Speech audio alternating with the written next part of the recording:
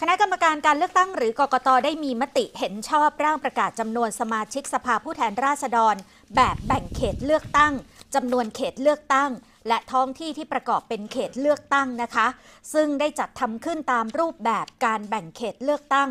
ซึ่งนายอิทธิพลขออภัยนะคะนายอิทธิพรบุญประคองประธานกกตได้ลงนามและส่งให้สำนักเลขาธิการครมเรียบร้อยแล้วนะคะ คาดว่าจะสามารถประกาศในราชกิจจานุเบกษาได้ในวันนี้ โดยใน 77 จังหวัดจะมีเขตเลือกตั้ง 400 เขต คำนวณตามจำนวนประชากร โดยไม่รวมบุคคลที่ไม่มีสัญชาติไทยค่ะทำให้กรุงเทพมหานคร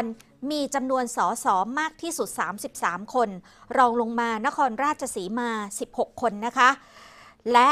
ในจำนวนสสที่จะลดหลั่นกันตามลงมาอย่างขอนแก่นอุบลราชธานีมีได้จังหวัดละ 11 คน และที่น้อยที่สุดจังหวัดละ 1 คนมี 4 จังหวัดคือที่ตราดระนอง สมุทรสงคราม และสิงห์บุรีค่ะ และถ้าหากคิดเป็นรายภาคนะคะ กรุงเทพและภาคกลางจะมีสส122 คน ภาคใต้ 60 คน ภาคเหนือ 37 คน อีสาน 133 คน ตะวันออก 29 คน ตะวันตก 19 คนค่ะ ดิฉันคุยกับดรสติธรธนานิธิโชตนะคะ ผู้อำนวยการสำนักนวัตกรรมเพื่อประชาธิปไตย จากสถาบันพระปกเกล้าค่ะ อาจารย์ชี้ว่าการแบ่งเขตเอรอบนี้เกิดขึ้นภายใต้ปัจจัยหลายอย่าง ก็คือการไม่นับรวมบุคคลที่ไม่มีสัญชาติไทย ไม่เหมือนกับครั้งก่อนค่ะ และกกตยังได้ตั้งเกณฑ์เรื่องของการพิจารณาความเหลื่อมล้ำของจำนวนประชากรรายเขต ต้องไม่เกินร้อยละสิบนะคะ ก็เลยทำให้ต้องแบ่งเขตเลือกตั้งกันใหม่ เกิดเป็นจำนวนเขตที่เพิ่มมากขึ้นถึง 50 เขตค่ะ มีจำนวนสสที่เพิ่มมากขึ้นมาในบางพื้นที่ ซึ่งถ้ามองในแง่ของพรรคการเมือง ซึ่งมีการย้ายขั้วสลับค่ายกันมาก่อนหน้านี้ทำกันบ้านในเชิงพื้นที่กันมาก่อน ก็คงจะได้รับผลกระทบกันไม่มากก็น้อยนะคะ ต้องขยับกันใหม่ จากเขตที่เปลี่ยนแปลงไป ส่วนในแง่ของประชาชนค่ะ ก็คงจะมีความรู้สึกในทำนองที่หวาดระแวงว่าเอ๊ะเกิดอะไรขึ้นกับพื้นที่ของเราทำไมมีการแบ่งเขตใหม่ ทั้งทั้งที่ที่ผ่านมาก็เคยอยู่ร่วมกันได้มาก่อนนะนะคะ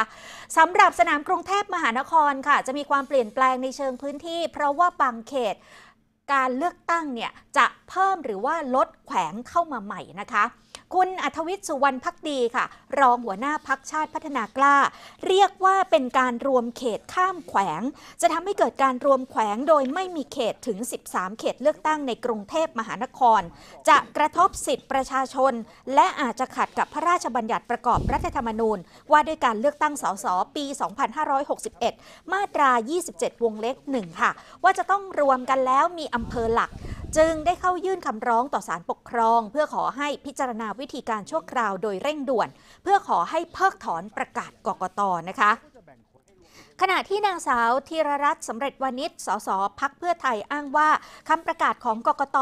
สอกเขาว่าจะขัดกับกฎหมายเลือกตั้งค่ะ และในท้ายที่สุดก็อาจจะทำให้การเลือกตั้งเป็นโมฆะได้ ดังนั้นกกตต้องกำหนดเขตเลือกตั้งและจำนวนสสแต่ละเขตเลือกตั้งให้สมบูรณ์ก่อน